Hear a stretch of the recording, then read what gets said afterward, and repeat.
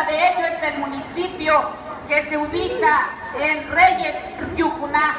Muestra de esto es que es el municipio más pobre de todo el país y es el reflejo Santos Reyes Yucuná de lo que sucede en nuestra región mixteca. Eso es lo que hay en nuestra región mixteca.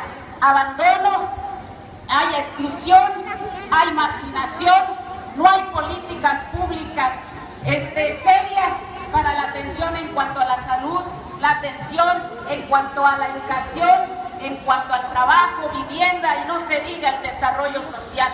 Por eso es esta lucha, por eso estamos organizados.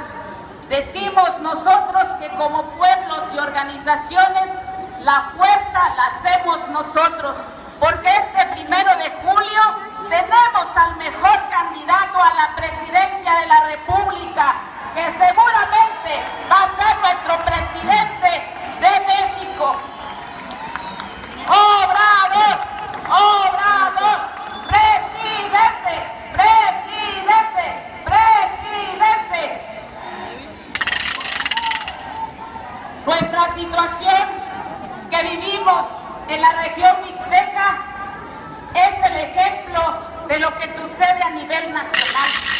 Lo que sucede a nivel nacional es ocasionado por la ausencia y estamos seguros que lo vamos a decir con todas sus palabras. El PRI, el PAN y el PRD fueron los traidores. Por eso la situación que vivimos ahora fueron los que firmaron el pacto por México y esa situación nos tiene en esta situación, en la economía y nos está afectando a todos y cada uno de nosotros. Por eso le estamos apostando al proyecto alternativo de nación, porque sabemos que ese proyecto nos va a beneficiar a todos y a todas, hermanos y hermanas, amigos y amigas. Estamos seguros que esta lucha es incansable. Desde antes de la campaña y en esta campaña estamos recorriendo los 82 municipios. Y ahí le quiero decir que la Mixteca, muestra de ello, es que sabe y quiere luchar al lado de usted. Pero también estamos contentos porque a Morena y a la Alianza Juntos Haremos Historia ya nadie la puede parar. La Mixteca demostrará este primero de julio que vamos juntos, que vamos organizados pero sobre todo que vamos a ser patria por nuestros hijos y por el futuro que nosotros queremos. Nunca más un México sin nosotros, nunca más. Nuestros pueblos en la discriminación y en el olvido, nunca más, porque nosotros nos... Obrador y por supuesto podamos escuchar su mensaje. Bien, pues vamos a recibir nuevamente al licenciado Andrés Manuel López Obrador, que en este momento da su mensaje a todos ustedes.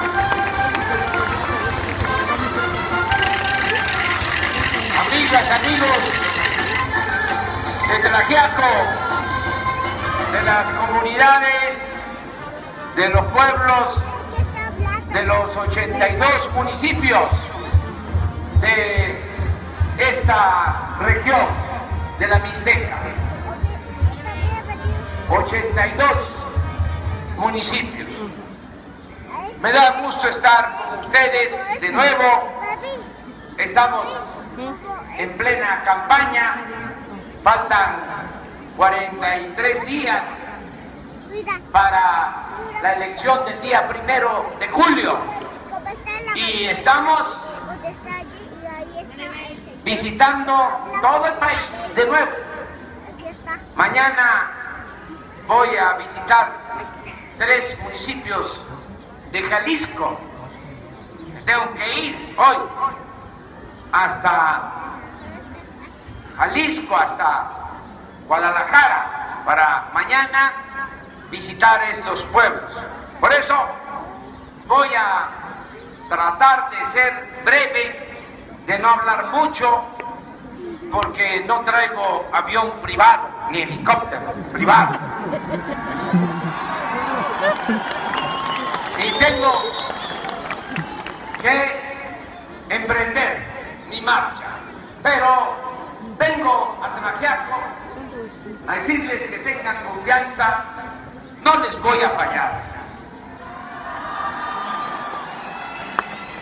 no voy a decepcionarles.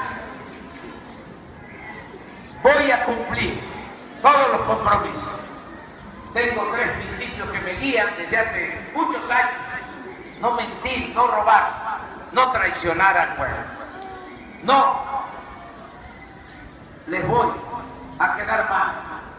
No les voy a defraudar. Voy a estar a la altura de ustedes. Porque tengo principios y además tengo una ambición legítima. Quiero pasar a la historia como un buen presidente de México.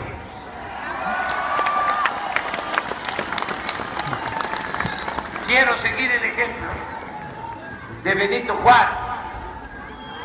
Quiero seguir el ejemplo Francisco y Madero, el apóstol de la democracia. Y quiero seguir el ejemplo del general Lázaro Cárdenas del Río. Por eso, no se preocupen, vamos entre todos, desde abajo, de manera pacífica, a lograr una transformación. Y va a depender, eso es lo principal, de que se acabe con la corrupción. Y somos los únicos que podemos hacerlo, porque los otros pertenecen a la misma mafia del poder. Nosotros siempre hemos hecho de nuestra vida pública una línea recta y no hemos robado. A mí me pueden llamar peje, pero no soy lagarta. Y ya está dicho de que se va a acabar con la corrupción. Ya se los he dicho a los de la mafia del poder. Se va a acabar la robadera. Ya no se va a permitir que nadie se robe el dinero del presupuesto que es dinero del pueblo. Porque sí hay presupuesto, bastante, pero se lo roban. Hay un presupuesto de 5 billones, que es dinero del pueblo. Corresponde a 13 mil pesos mensuales por familia. Y ese dinero no llega al pueblo, se queda arriba. Se roban por lo bajo el 10%, 500 mil millones de pesos cada año. No hay ninguna banda que robe tanto. Son niños de pecho estos que presentan como los grandes delincuentes en comparación con los políticos corruptos del país. El peor de los ladrones es el político corrupto. Por eso se va a acabar el bandidaje oficial. Ya no va a haber esa banda de malhechores que se han dedicado a robar, a saquear. Por eso se ha empobrecido nuestro pueblo. Con ese dinero ahora se roba, que se va a ahorrar, con ese dinero es que vamos a sacar a nuestro pueblo de la pobreza. No va a hacer falta, no va a ser necesario aumentar impuestos, ni endeudar al país, ni van a haber gasolinazos. Todo eso se va a terminar. Solo con el manejo honrado del presupuesto y acabando con los privilegios, porque ya no van a haber los sueldos que hay ahora para los altos funcionarios públicos de 650 mil pesos mensuales, que es lo que ganan los ministros de la Corte, o 500 mil pesos mensuales, que es lo que ganan los senadores, o 400 mil pesos, que es lo que ganan los diputados federales. Ya no va a haber esos sueldos. Vamos a bajar los sueldos de los de arriba porque vamos a aumentar los sueldos de los de abajo. Van a ganar más los maestros, van a ganar más las enfermeras, los médicos, van a ganar más los soldados, porque el soldado es pueblo uniformado. Van a ganar más los que trabajan al servicio del Estado, va a aumentar el salario de los trabajadores y va a aumentar también el jornal para los campesinos. Y no van a haber lujos en el gobierno.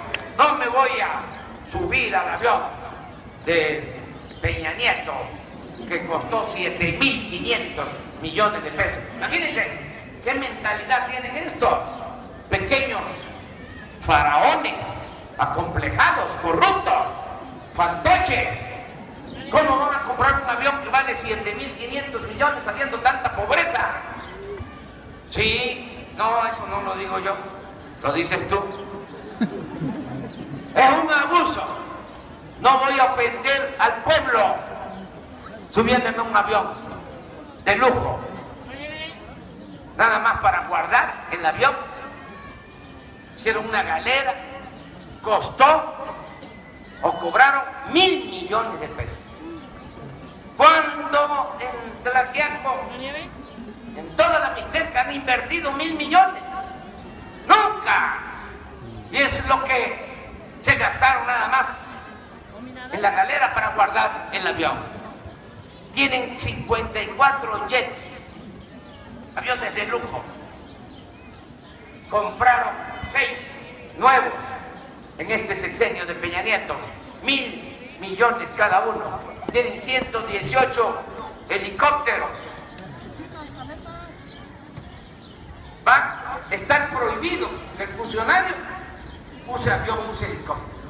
Eso se va a terminar. Y vamos a vender toda la flotilla de aviones y de helicópteros. Vamos a dejar nada más algunos helicópteros como ambulancia para trasladar enfermos. Nada más para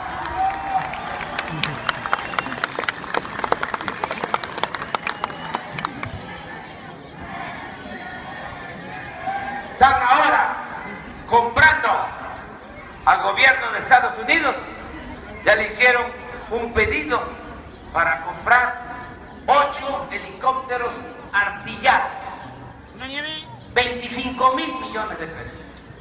Esa compra la vamos a cancelar. Nosotros no queremos la guerra, no queremos el armamentismo. Nosotros queremos la paz. Y la paz se consigue si hay justicia. Y ese dinero, esos 25 mil millones, tienen que destinarse al desarrollo y al bienestar de nuestro pueblo. No a comprar armas. No queremos ya la confrontación entre mexicanos. No queremos esta violencia. Vamos a conseguir la paz contra